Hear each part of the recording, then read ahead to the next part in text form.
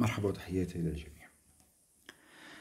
أه، تلفت الفيلسوف الإنجليزي الكبير روجر بيكون وروجر بيكون هو أحد رواد التجديد الفكري وأحد رواد المنهج العلمي التجريبي في فترة العصور الوسطى. وطبعا أه، يعني روجر بيكون هو غير فرانسيس بيكون الشهير. فتلفت روجر أه، روجر بيكون من حوله فلم يجد إلا جهل مطبق على العقول والنفوس معا. ولم يرى إلا دغمائية مسيطرة ومتحكمة بأذهان الناس. وذلك طبعا بفعل هيمنة الكنيسة والسلطة الدينية المطلقة إبان العصر الوسيط. ومن ثم لنقل ألقى روجر بيكون بنظرة يعني ثاقبة على من يقال عنهم فلاسفة وعلماء. فوجدهم أيضا غارقين في الجمود والتعصب وبدلا من أن ينخرطوا في ساحة الحياة أو في معترك الحياة وبدلا من أن ينزلوا أو يقتحموا الطبيعة ويواجهوا حقائق الحياة وظواهر الطبيعة للكشف عن أسرارها مثلا لا رآهم يهرعون سريعا إذا ما يعني استجد شيء إلى غرفهم الضيقة طبعا ليبحثوا في يعني تلك الكتب القديمة والمقدسة آه، عن تفسير أو عن تعليل مثلا لهذه الظاهرة أو تلك. فيعني كان أن هله المشهد. فصرخ روجر بيكون يعني من أعماقه في كل هؤلاء قائلا. وهذه كلمات روجر بيكون. لا تدعوا النصوص الجامدة تتحكم بكم.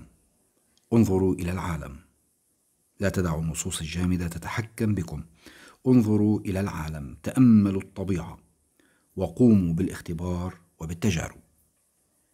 في الواقع روجر بيكون كما قلت كان أحد رواد المنهج العلمي التجريبي في تلك العصور القديمة.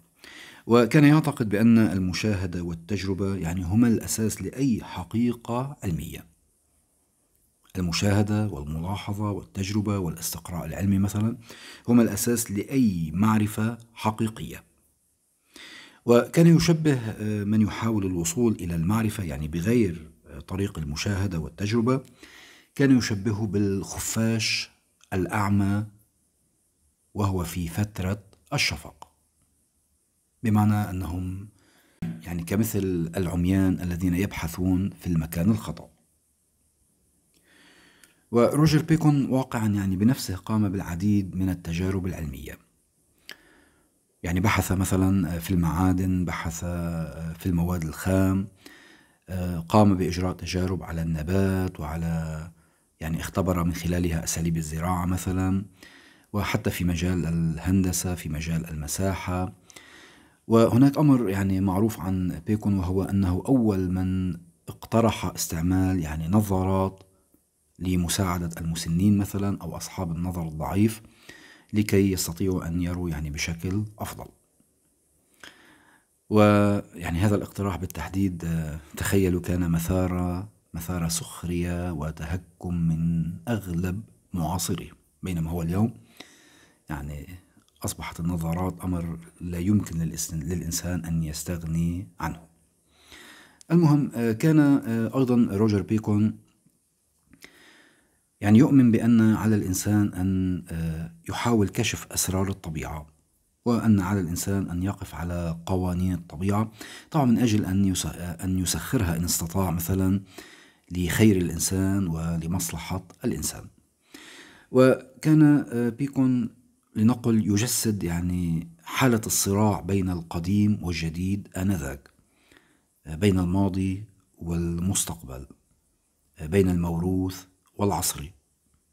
على الرغم من أن يعني فرانسيس بيكون أيضا كان رجل متدين بل كان راهب فرانسيسكاني في نهاية الأمر ومع ذلك كان يؤمن أيضا إلى جانب إيمانه بالله بأهمية العلم والتجربة العلمية.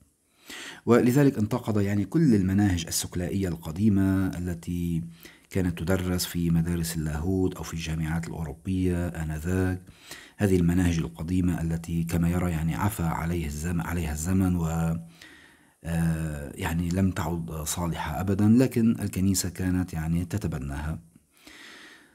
وهذا النقد اللاذع الذي وجهه بيكون للكثير من الأمور.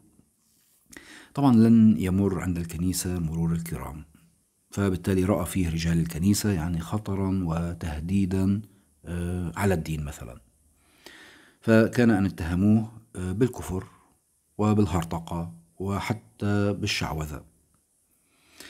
ومن ثم يعني طالبوه بأن آه، يعني كما يقال أن يتراجع وأن يعتذر مثلا لكن الرجل كان يقدس حرية عقله وفكره.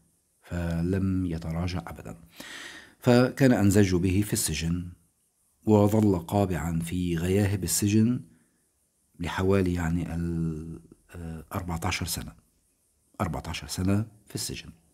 طبعا خرج بعدها ليلفظ أنفاسه الأخيرة بعد فترة وجيزة من خروجه.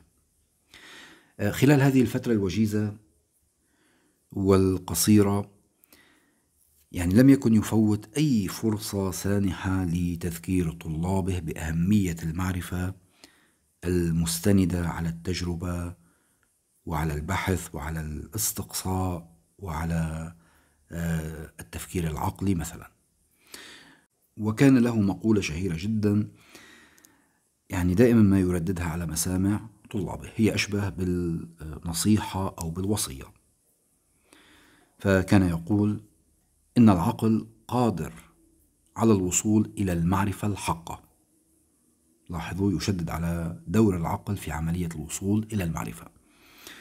آه، إن العقل قادر على الوصول إلى المعرفة الحقة من خلال الإدراك الحسي. أيضا يشدد على تلازم آه، مسألة آه، عمل العقل ودور الحواس في نقل مثلا الإحساسات الخارجية إلى هذا العقل الذي يقوم بعد ذلك طبعا بترتيبها وتصنيفها واستخراج المعنى منها. فالمهم كان يقول أن العقل قادر على الوصول إلى المعرفة الحقة من خلال الإدراك الحسي ومن خلال الفهم الذاتي والتجربة العلمية. وعلى علماء الإنسانية على علماء الإنسانية أن يجربوا وأن يجربوا دائما وأبدا. فهذه هي وصية بيكون. الإيمان بقدرة العقل على الوصول إلى المعرفة والقول أيضا بقيمة المعرفة الحسية وقيمة المعلومات وقيمة ما تنقله لنا الحواس. وأخيرا التشديد على كون التجربة العلمية يعني هي السبيل الأنجع للكشف عن حقائق الطبيعة وأسرار الكون. ولذلك دعا علماء الإنسانية لكي يجربوا ويجربوا دائما وأبدا. وشكرا وإلى اللقاء.